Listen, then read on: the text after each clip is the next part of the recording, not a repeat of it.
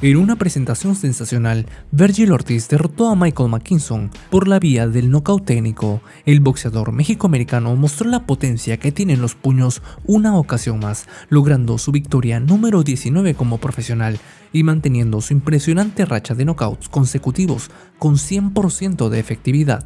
Este boxeador noquea a todo el que enfrente, pero Michael McKinson no se la puso nada fácil ya que salió a boxear al contragolpe, usando muchos desplazamientos y ensuciando bastante la pelea. Incluso en el primer round, McKinson le pegó un cabezazo a Ortiz, provocando un corte muy peligroso en el pómulo del ojo izquierdo. También en este primer round, McKinson le conectó un poderoso golpe a Ortiz que le hizo temblar las piernas. Sin embargo, el boxeador mexicoamericano supo hacer los ajustes necesarios, tratando de no desesperarse y no entrando en el juego sucio del boxeador inglés, aunque un problema que se le vio fue que no supo cortar muy bien el ring, y esto fue muy bien aprovechado por el inglés, que le conectó muchos ganchos en zonas muy peligrosas, pero Ortiz los absorbía sin ningún problema. Otro problema que tuvo Ortiz fue que le costó mucho conectarle a la cabeza a McKinson, ya que este boxeador tenía demasiada movilidad, por lo que Ortiz optó por golpear en la zona media. Justamente de esta forma es que llegó el primer knockdown, ya que en el octavo round Ortiz logró mandar a la lona al inglés con un gancho al hígado. Producto de esto, este boxeador inglés cayó muy adolorido, aunque se pudo levantar, sin embargo, se le notaba demasiado cansado, ya no tenía ese movimiento de piernas que le complicó mucho Ortiz, aunque en el siguiente round, en el noveno, McKinson ya no traía nada,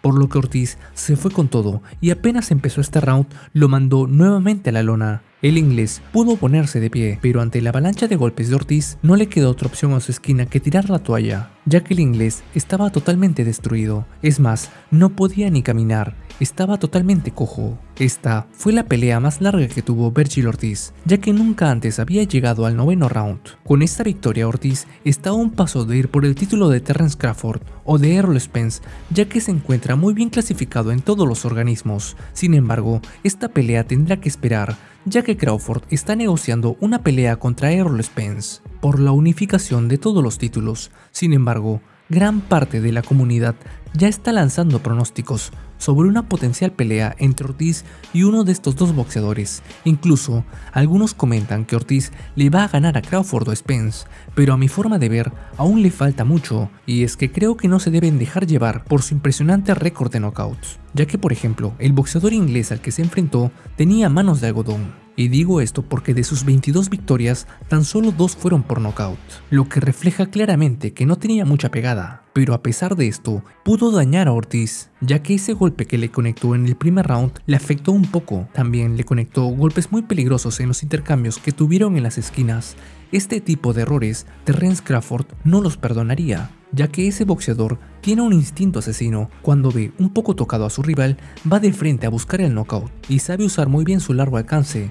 Sumado a su gran movimiento de piernas, creo que Ortiz, por ahora, no tendría ninguna posibilidad contra Crawford. Contra quien sí creo que tendría posibilidades sería frente a Spence, justamente porque este boxeador no tiene tan buen movimiento de piernas y por su estilo se le facilitaría un poco más. Sin embargo, no hay que ser demasiado exigentes, ya que Ortiz es un boxeador que recién está madurando, tiene tan solo 24 años y aún le falta mucho por aprender, por lo que no me gustaría verlo enfrentar a Crawford o Spence. Actualmente, él está siendo entrenado por Manny Robles, el ex entrenador de Andy Ruiz, el entrenador que le llevó a ser campeón al derrotar a Anthony Joshua, por lo que evidentemente está en buenas manos. En lo personal, me gustaría que Ortiz en su siguiente pelea se enfrente a Jordan Isugas o Kate Turman, aunque no sé qué tan fácil sea realizar estas peleas por el tema de promotoras. Y cuéntame, ¿cómo calificarías la presentación de Ortiz? ¿Crees que ya está listo para ir contra Crawford o Errol Spence? Deja tu opinión en los comentarios y suscríbete al canal para estar enterado de las últimas noticias, análisis y documentales del mundo del boxeo. Esto es Finito Box. Hasta la próxima.